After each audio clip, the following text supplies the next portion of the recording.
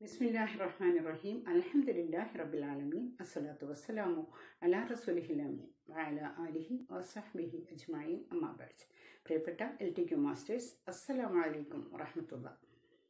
L T Q master Zeenath സലീമിന്റെ prepared speech evaluate ചെയ്യുക എന്ന ദൗത്യവുമായാണ് ഇന്ന് ഞാൻ നിങ്ങൾക്ക് മുന്നിൽ എത്തിയിട്ടുള്ളത്. വിശുദ്ധ ഖുർആാനിലെ പ്രാരംഭ സൂറത്തായ സൂറത്തിൽ ഫാത്തിഹയിലെ ഇയാക്ക നാഴ്ബുദു വയ്യാക്ക നസ്തഴീൻ എന്ന ആയത്തിനെ തദബുർ ചെയ്തുകൊണ്ടാണ് അവർ സംസാരിച്ചത്. നിന്നെ മാത്രം ഞങ്ങൾ ആരാധിക്കുകയും നിന്നോട് മാത്രം ഞങ്ങൾ സഹായം തേടുകയും ചെയ്യുക എന്നുള്ളതാണ് ആയത്തിന്റെ ആശയമെന്നും ഇബാദത്ത് എന്ന വാക്കിന് ആരാധന അനുസരണം അടിമത്തം എന്നൊക്കെ അർത്ഥമുണ്ടെന്നും അവർ ചൂണ്ടിക്കാട്ടി. ആരാധന അള്ളാഹുവിന് മാത്രമേ ആകാവൂ എന്നും സഹായതട്ടങ്ങൾ അള്ളാഹുവിനോട് മാത്രമേ ആകാവൂ എന്നുമുള്ള ഒരു പ്രതിജ്ഞയാണ് ഈ ആയത്ത് എന്നും അവർ പറയുകയുണ്ടായി. സത്യവിശ്വാസികൾ പരസ്പരം സഹോദരങ്ങളാണെന്നും അള്ളാഹുവിന്റെ പാശം മുറുകെ പിടിക്കേണ്ടവരാണെന്നും ഭിന്നിച്ചു പോകരുതെന്നും അള്ളാഹു പറയുന്നു. നബി സല്ലാ അലൈഹി സ്വലമയും കരുണയുടെയും സ്നേഹത്തിന്റെയും കാര്യത്തിൽ മുസ്ലിങ്ങൾ ഒരേ ശരീരം പോലെയാണെന്നും പറഞ്ഞിട്ടുണ്ട്. അതുകൊണ്ടായിരിക്കും ഞങ്ങൾ നിന്നെ മാത്രം ആരാധിക്കുകയും ഞങ്ങൾ നിന്നോട് മാത്രം തേടുകയും ചെയ്യുക എന്നത് ബഹുവന ബഹുവചന രൂപത്തിൽ അവതരിച്ചത് എന്നും അവർ പറയുന്നു.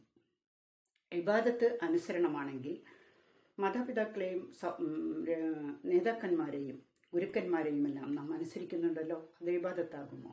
ഇല്ല. എല്ലാ ഇബാദത്തുകളും അനുസരണമാണ്. എന്നാൽ എല്ലാ അനുസരണയും ഇബാദത്തല്ല എന്ന് അവർ വ്യക്തമായി പറഞ്ഞു തന്നു അനുസരണയുടെ പരമകോടിയാണ് ഉച്ചകോടിയാണ് ഇബാദത്ത്. ആ സ്ഥാനത്ത് അള്ളാഹുവിന്റെ സ്ഥാനത്ത് മറ്റൊരാളെയും കൽപ്പിച്ചുകൂടാ. നബി സല്ലാ അലൈഹി സ്വലമ അത് വളരെയധികം കണിശമായി വിലക്കിയിട്ടുണ്ട്. ഇമാം ബുഹാരി റഹിമഹുല്ലാഹിയുടെ ഒരു ഹദീസ് ഉദ്ധരിച്ചുകൊണ്ട് അവർ പറഞ്ഞു ദൈവകൽപ്പനയെ അനുസരിച്ചുകൊണ്ടും അള്ളാഹുവിന്റെ പ്രീതി ലക്ഷ്യമാക്കിക്കൊണ്ടും ഒരാൾ തന്റെ ഭാര്യയ്ക്ക് ഒരു ഉരുള കൊടുക്കുന്നുവെങ്കിൽ അതും ഇബാദത്താണ്. അതിനെ അള്ളാഹുവിൽ നിന്ന് പ്രതിഫലം ലഭിക്കും ഈ വിധത്തിൽ ആദ്യം നാം നമ്മുടെ മനസ്സിനെ ആരാധനയ്ക്ക് വേണ്ടി സജ്ജമാക്കി പിന്നീട് അതിന്റെ ലക്ഷ്യപ്രാപ്തിക്ക് വേണ്ടി തേടണമെന്നും ഒരു നല്ല സന്ദേശം നൽകിക്കൊണ്ടാണ് അവർ തന്റെ സ്പീച്ച് അവസാനിപ്പിച്ചത്. മാഷാ ബാറക്കലാഫിക്കും വളരെ നല്ല നിലയിൽ ആദ്യം മുതൽ അവസാനം വരെ നല്ല കോൺഫിഡൻസോടെ പ്രസംഗം അവതരിപ്പിക്കാൻ സഹോദരി ശ്രദ്ധിച്ചിട്ടുണ്ട്. അള്ളാഹു അള്ളാഹു തൗഫിക്ക് ചെയ്യട്ടെ. എന്ന രണ്ട് നിർദ്ദേശങ്ങൾ ഞാൻ സൗന്ദര്യ ശ്രദ്ധയ്ക്കായി വെക്കുകയാണ്. ഒന്നാമതായി സൂറത്തിനെ കുറിച്ച് ഒന്നും പരാമർശിച്ചു കണ്ടില്ല. അത് ഒന്നര മിനിറ്റിൽ കവിയാതെയെങ്കിലും സംസാരിക്കേണ്ടിയിരുന്നു. രണ്ടാമതായി നല്ല ഐ കോണ്ടാക്ട് നിലനിർത്തുന്ന കാര്യം ശ്രദ്ധിച്ചിരുന്നുവെങ്കിൽ പ്രസംഗം ഒന്നുകൂടി മനോഹരമാകുമായിരുന്നു.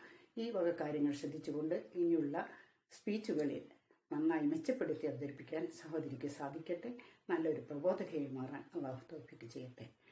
السلام عليكم ورحمة الله وبركاته.